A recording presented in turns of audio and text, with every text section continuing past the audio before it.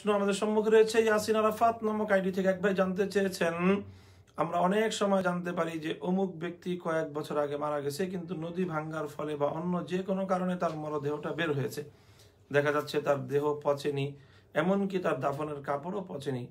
এখন আমাদের জানার বিষয় হলো, এর দ্বারা কি বোঝা যাবে যে সেই ব্যক্তি আল্লাহর অলি ছিলেন? কোরআন, হাদিস এ বিষয়ে কি বলে? প্রিয় দর্শক, প্রথম যে বিষয়টুকু আমাদের এখানে জেনে নেওয়া প্রয়োজন এই বিষয়ের উত্তর বোঝার জন্য, সেটি হলো যে মৃত্যু পরবর্তী যে বিষয়গুলো মানুষের সাথে ঘটে থাকে, এটি এমন একটি বিষয় যেটি এলমুল গায়েবের সাথে সম্পৃক্ত এবং সেই বিষয়ে আমরা ইহ জগৎ থেকে কখনোই তার পূর্ণাঙ্গ রহস্য উদ্ঘাটন করা আমাদের পক্ষে সম্ভব নয়। যে কেন ঘটছে, এর কার্যকারিতা কি এবং এর কারণগুলো কি কেন এটি ঘটছে? সুতরাং আপনি সুনির্দিষ্টভাবে যে প্রসঙ্গগুলোর এখানে অবতারণা করেছেন, যে অর্থাৎ যদি দেহ একেবারেই পচা গলাহীন, সংরক্ষিত অবস্থায় পাওয়া যায়, কাফনের কাপড়গুলো যদি এভাবে পাওয়া যায়, তাহলে তার দুটি সম্ভাবনাই রয়েছে।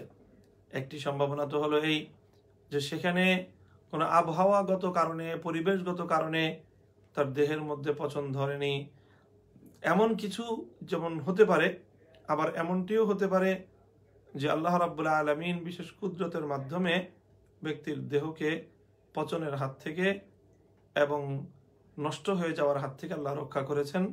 এটাও হতে পারে। এটিও অবান্তর নয় এবং অসম্ভব কিছু নয়। দুটিই হতে পারে। সুতরাং এটি এমন কোনো বিষয় নয় যে এটি কোনো ইসলামের দৃষ্টিতে এটি প্রমাণ।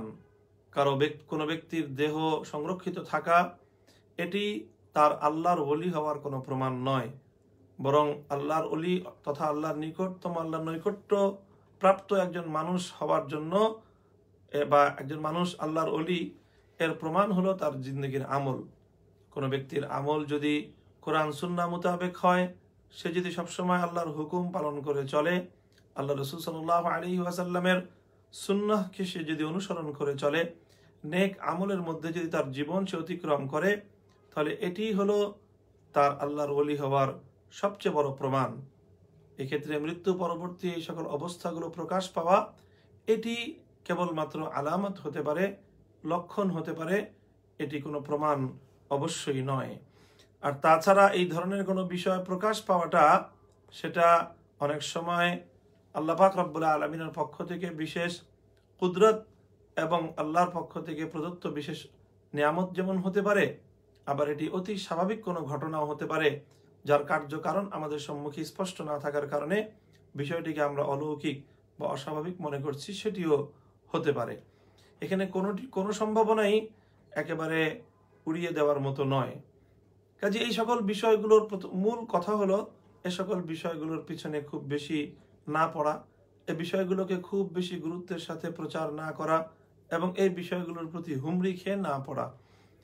এগুলো যদি ঘটে, তবে একজন ব্যক্তির জিন্দগির সমস্ত আমল দ্বারা যদি প্রমাণিত হয় বা এটা জানা থাকে যে সেই ব্যক্তি আল্লাহর হুকুম আল্লাহ নবীর তরিকা অনুযায়ী সে তার জীবন যাপন করেছে, তার মৃত্যু হয়েছে ইমানের উপর, বাহ্যিকভাবে যদি এটি জানা যায় এবং এরপরে যদি তার মৃত্যু পরবর্তীতে এই ধরনের কোনো বিষয় ঘটে, তাহলে এটিকে একটি শুভ সংবাদ হিসেবে গ্রহণ করা যেতে পারে এবং সুধারণার প্রেক্ষিতে এগুলোকে একটি আলামা অথবা একটি লক্ষণ হিসেবে গ্রহণ করা যেতে পারে বেশির চেয়ে বেশি।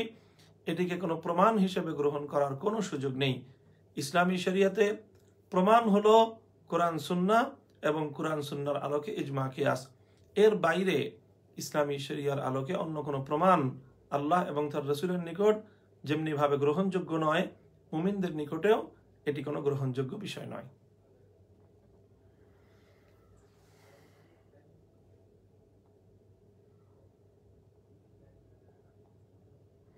প্রিয় দর্শক পরবর্তী